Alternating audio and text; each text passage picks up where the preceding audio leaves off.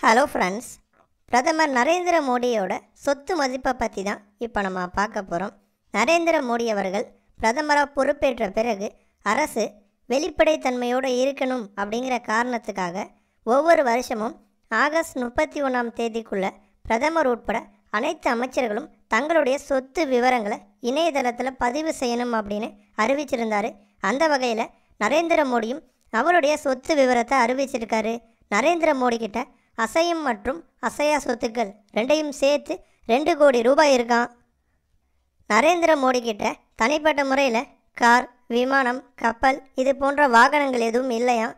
இவருக்கு குஜராத்தில் மட்டும்தான் பேங்க் அக்கௌண்ட் இருக்கான் டெல்லியில் கூட பேங்க் அக்கௌண்ட் இவருக்கு இல்லையாம் இவர்கிட்ட நாலு தங்க மோதிரம் இருக்கான் அதோட மதிப்பு பார்த்தோன்னா ஒரு லட்சம் ரூபாய்க்கு மேலே வருமா? அதே மாதிரி தேசிய சேமிப்பு சான்றிதழ் மூலமாக அஞ்சு லட்சத்தி நாற்பத்தி அஞ்சாயிரம் ரூபாய் சேமிப்பில் இருக்காம். ஆயுள் காப்பீடு மூலமாக ரெண்டு லட்சம் ரூபாய் சேமிப்பில் இருக்கான் இவருக்கு சொந்தமாக காந்தி நகரில் ஒரு வீடு இருக்கான் ஆனால் அந்த வீட்டில் நாலில் ஒரு பங்கு தான் இவருக்கு உரியதான் அந்த வீட்டோட தற்போதைய மதிப்பு எவ்வளோன்னு பார்த்தோன்னா ஒரு கோடி ரூபாயாம்.